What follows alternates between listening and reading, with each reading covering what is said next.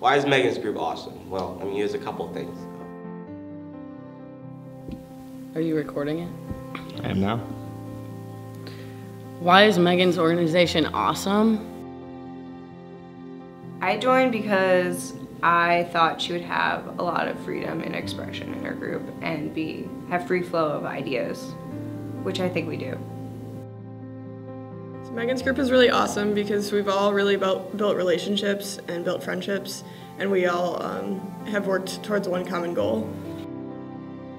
Megan's group is awesome because everyone has an equal opportunity to make an impact, and it's in a comfortable environment that encourages me to give my input. Good people, and we have like all these relationships within the organization. And man, I like people, and I like Megan's organization because it's just a bunch of good people.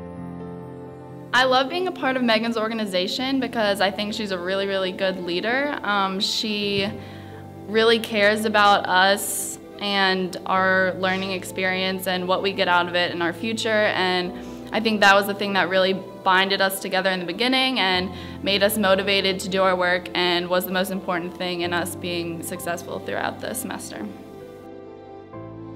When I was being asked all those questions about why I'd be a good leader and all that stuff, um, a lot of my responses were, I care about these people. The people who that I will be leading are important to me, and what they want is really what matters. I'm down here, Doug.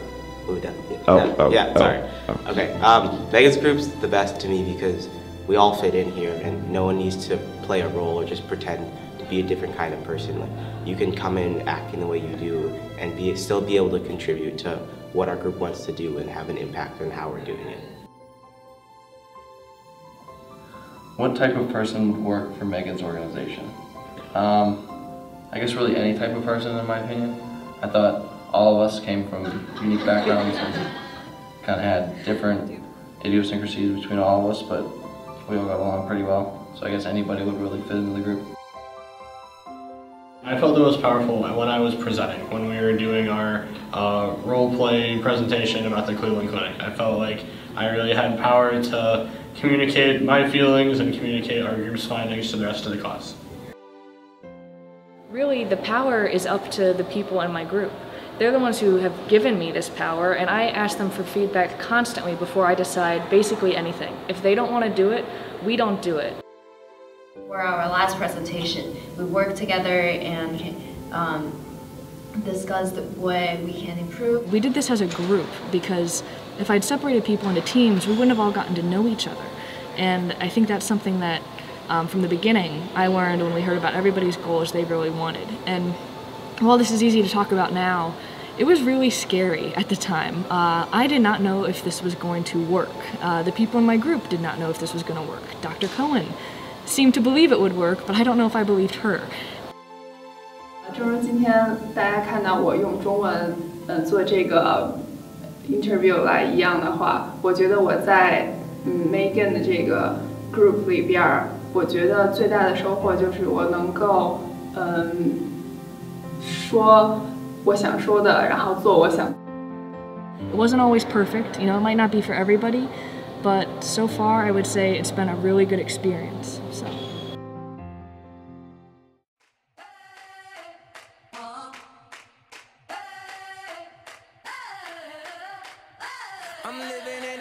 Can I just practice and you're not going to be filming me?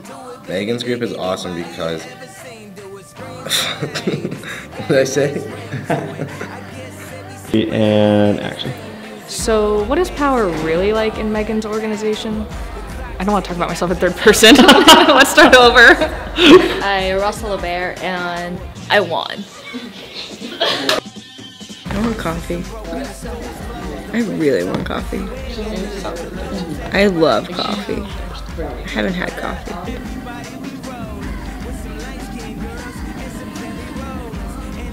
This is the part where you talk. I thought you were like just randomly like.